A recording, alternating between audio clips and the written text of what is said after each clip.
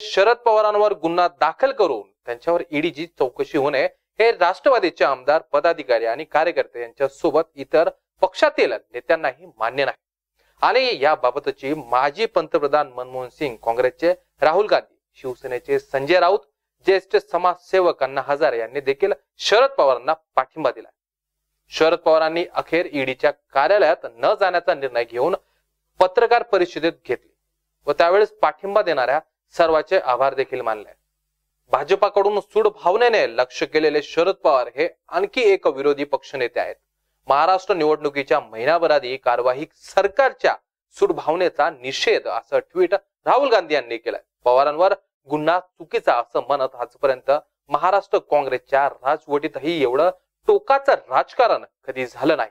असं म्हणत त्यांनी राज्यातील भाजप सरकारवर निशाणा साधला आहे माजी पंतप्रधान मनमोहन सिंग आणि ज्येष्ठ समाजसेवकांना अण्णा हजारे यांनीही याला विरोध दर्शवला आहे. या सरकारच्या आम्हाला साथ देणारे सर्व स्वागतिक विचाराचे लोक या सगळ्यांना मी अंतकरणापासून धन्यवाद देतो की कुणी अत्याचार अन्याय करण्याच्या संबंधीची भूमिका घेतली. तर महाराष्ट्रातील सामूहिक शक्ती कशी एकत्रित होते याचं प्रदर्शन त्यांनी केलं.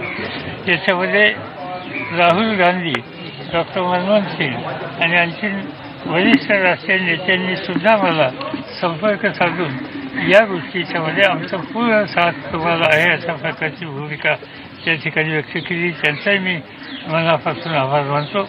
आणि संजय राऊत तुमचे प्रतिनिधी आहेत.